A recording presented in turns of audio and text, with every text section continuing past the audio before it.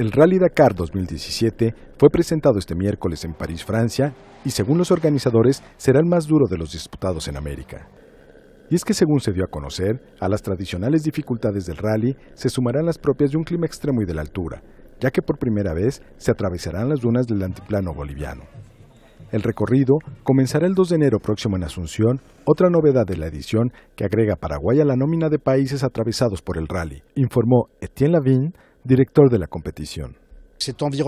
Es una altitud en el altiplano boliviano, muy bonito y espectacular, magnífico de ver, pero con gran dificultad para los pilotos y copilotos para aclimatarse lo más rápido posible en estas condiciones extremas, ya que van a estar entre 3.600 y 4.500 metros de altura.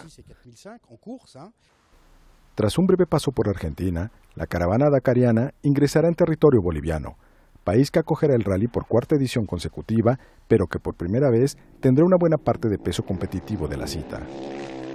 Es especialmente largo, de aproximadamente más de 450 kilómetros, por lo que estos van a ser los grandes desafíos de la edición 2017.